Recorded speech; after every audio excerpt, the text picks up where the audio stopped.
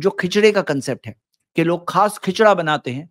और शेख किफ़ायत ने भी इस चीज़ के बारे में बहुत अहम बात कही कि सोचो जिस दिन रोज़ा रखना सुन्नत है, कि नौ और दस मुहर्रम को रोज़ा रखना सुन्नत है, उस वक्त पर लोग क्या कर रहे हैं? खास खिचड़ा बना रहे हैं। अब आप देखिए तो एक्टिव मुखालिफत है, उस सुन्नत की वाज तौर पर मुखालिफत है। ये खिचड़ा बनाना अगर होता तो अल्लाह के रसूल सल्लल्लाहु अलैहि वसल्लम सिखाए होते, साहब इकराम से हमें मिलता, इसकी कोई दलील नहीं मिलती।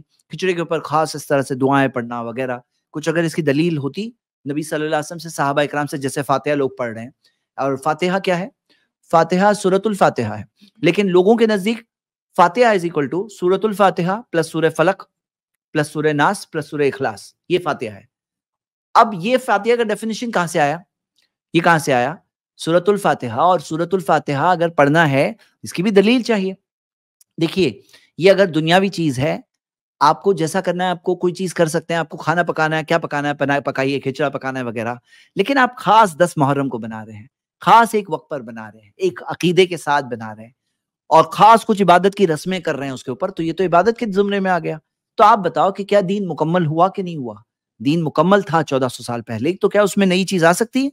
नहीं आ सकती है। असलकम वरहमतुल्लाहि वबरकातु इस क्लिप की फुल वीडियो देखने के लिए हमारे चैनल पर ज़रूर आए।